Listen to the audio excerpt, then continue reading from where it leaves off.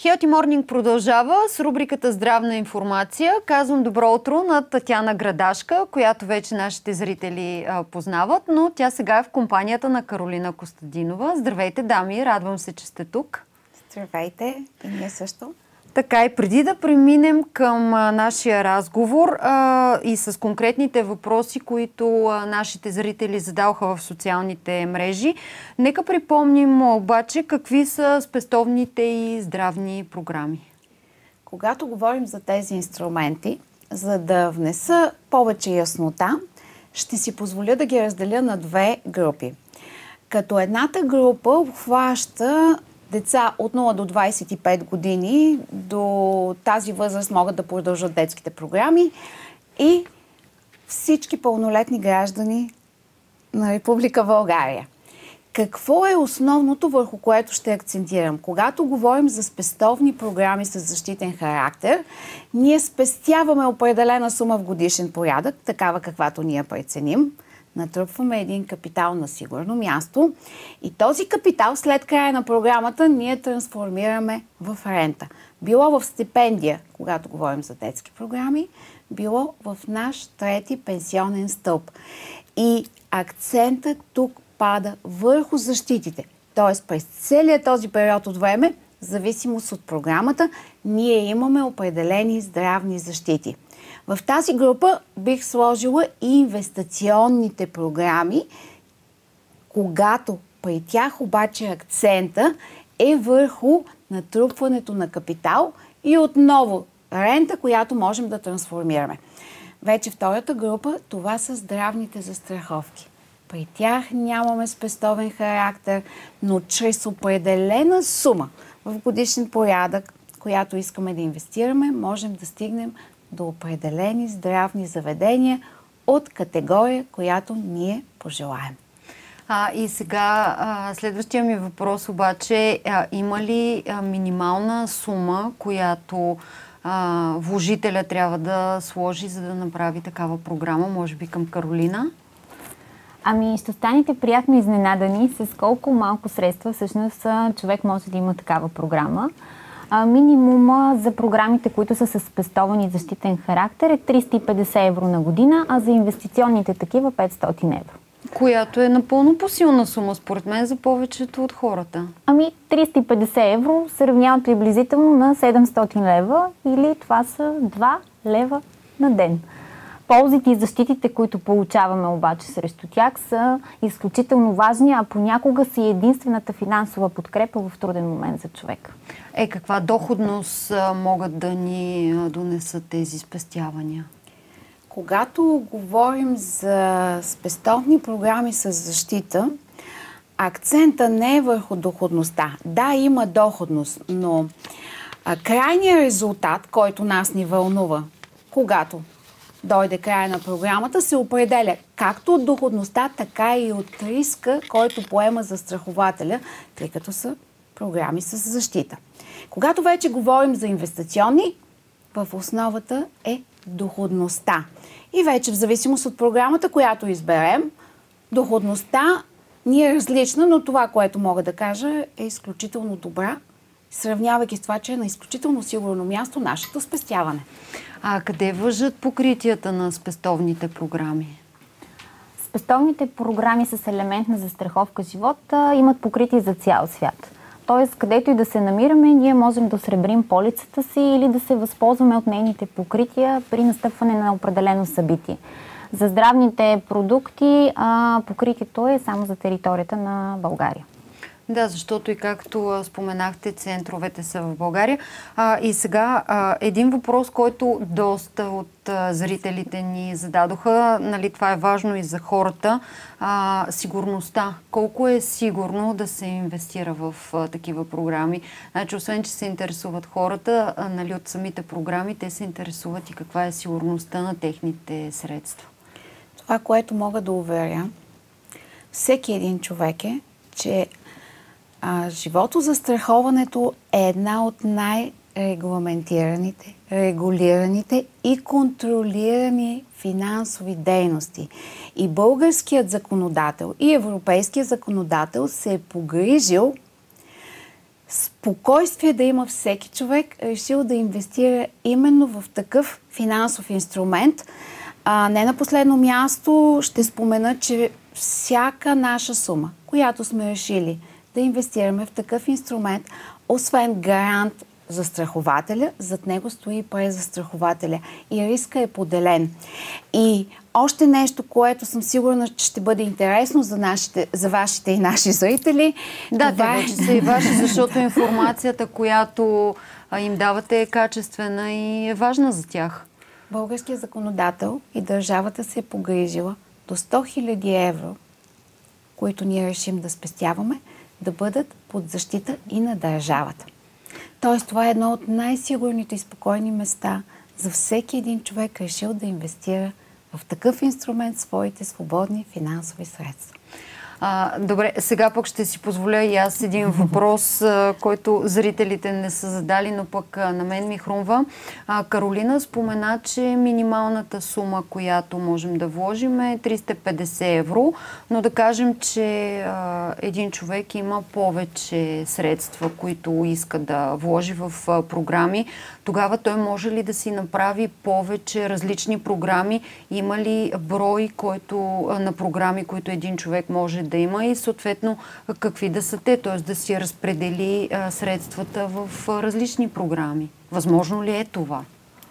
А, да, възможно е. Няма ограничение колко брой, на, на брой програми може да има едно лице. Дори комбинирането на няколко такива е най-добрият вариант, тъй като различните програми имат и различни покрития. И комбинацията им осигурява така да наречения идеален защитен чадър. А и нашата роля като финансови консултанти е точно това да помогнем на човек да разпредели по възможно най-добрия начин средствата, които е решил да спестява и инвестира в годишен план, така че максимално да се възможно, възможно да се така че максимално да се възползва от покритията на програмите, които предлагам. Добре, де, а, тогава има ли, а, следващ въпрос ми, ми хрумва, а, ако ни се случи някакво събитие или нещо, просто ни се наложи, има ли възможност а, тези средства да бъдат а, изтеглени по-рано, да не изчакаме целият този период и съответно пък тук би ли ни било полезно това да имаме няколко различни програми и да се възползваме да изтеглим само една част от а, сумата? Както винаги въпросите са ти невероятни. Да. Ами вижте, аз, аз говоря от а, гледна точка на човек, който би се възползвал от тази програма и смятам, че и за нашите зрители е така, за да се впуснеш и да направиш нещо ново и различно, защото за България това са нови неща. А, ние искаме максимално, защото хората днес са интелигентни, могат да получат информация от всякъде и всеки човек иска максимално да знае какво може да вложи и съответно какво може да очаква очаква от това? Да, на въпроса ти отговора ми е да.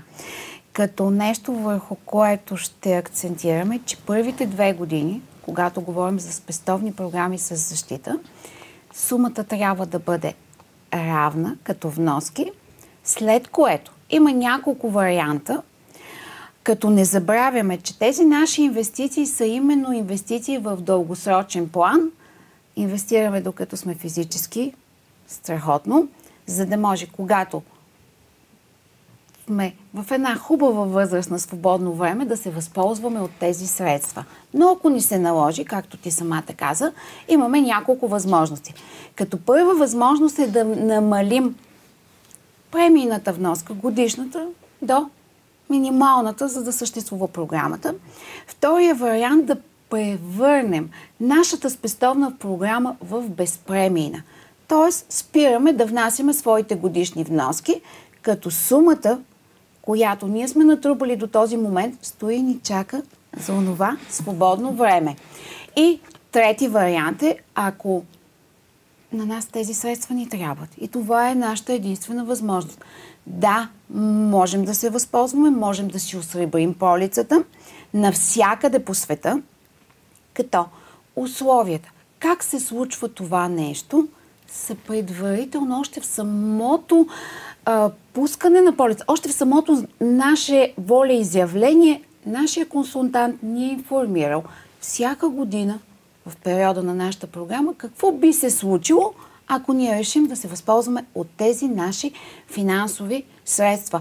И нещо, което е така според мен е много важно. Всъщност, това е възможност, която ние носим на един лист хартия. И където и да се намираме по света, може да се окаже единствената наша финансова възможност, от която ние да се възползваме. Затова говорим за друг финансов инструмент, различен от банка, имоти, злато и всичко това, което хората могат да ползват, разбира се. Да, това е полезно, а, което казваш и мисля, че е важно хората наистина да го разберат и да го осмислят. А, и понеже така изчерпахме почти всичко, за което а, говорихме в тези изминали месеци, а, но не споменахме за децата, защото говорим в момента за програми, които а, да направим ние за нас, за възможностите за децата. Какво можем да направим за тях? Понеже това е едно от любимите неща. Тоест, програмите, свързани с деца, са нейната страст. Да, моите любими програми всъщност са тези за децата, защото нашият менталитет е такъв, че ние винаги гледаме първо да се погрижим за децата, ние след това за нас. а, за това, а, нали, хубаво е, че има възможност и такива програми, които са насочени изцяло към децата, така че те да могат да ползват средствата си в точния момент за тях. Когато тръгват а, да, да учат в чужбина, когато са в началото на своята кариера или се отделят да живеят отделно, тогава да имат една добра финансова финансова подкрепа, с която да си осигурят свободата да правят каквото им е добре и да се чувстват доволни и щастливи. Единствено и само благодарение на това, че родителите са били предвидливи на по-ранен етап, да започнат да им спестяват каквато сума имат по възможност. Много ви благодаря, дами. Понеже сме на финала на нашия разговор, аз искам да кажа на зрителите, че а, ако информацията, която а, вие давате, ги вълнува и им е интересна, ние можем да предоставим координатите на Татьяна Градашка и на Кост... а, Каролина Костадинова. И а, на финал на финал, какво ще кажете, финални думи към нашите зрители? Ами първо бих искали да ви благодарим на вас за тази възможност да разкажем тази толкова полезна информация за всеки човек как да се погрижим за най-ценният актив, който имаме, нашият живот и как да се погрижим за хората, които обичаме.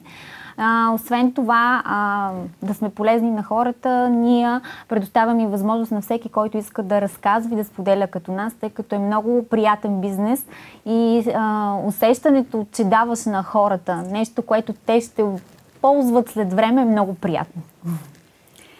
Ами аз това, което бих казала за тези програми, всъщност за застраховането и за застраховките живот, това не е лукс. Това е стандарт на живот. Това е нещо, което не можем да си купим с пари, когато ни трябва. Ние просто трябва да сме се възползвали и когато получим такава информация и имаме информирано решение, да пристъпим, да направим първата крачка, за да можем да живеем по-спокойно, по-предвидимо, не само ние, а и хората, които обичаме. Е, прекрасен финал. Благодаря ви, дами. А вие, уважаеми зрители, останете с Healthy Morning.